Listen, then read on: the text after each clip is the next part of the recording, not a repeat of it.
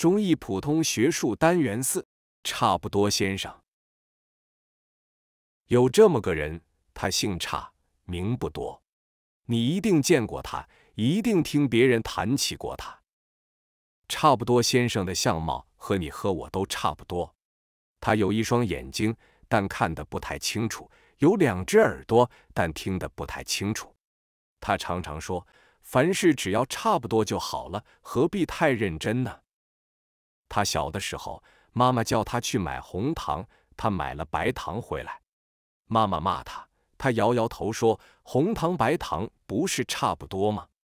后来他在一家店里做事，记账时常常把十写成千，把千写成尺，害得店里亏了不少钱。老板气得骂他，他却笑嘻嘻地说：“千字比十字之多一小撇，不是差不多吗？”有一天，他要乘船到外地去办事，结果迟到了两分钟，轮船已经起航了。他望着远去的轮船，摇摇头道：“轮船公司未免太认真了。八点三十分开船，同八点三十二分开船，不是差不多吗？”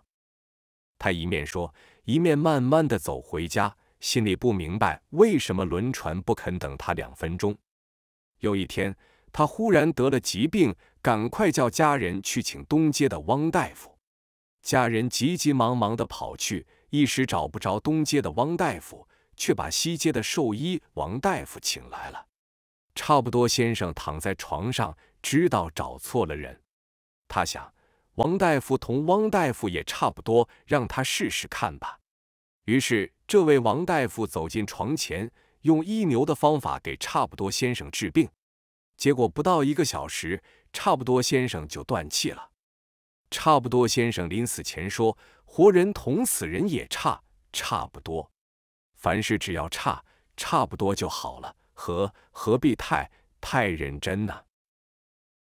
生词朗读：记账、亏、铁、治病。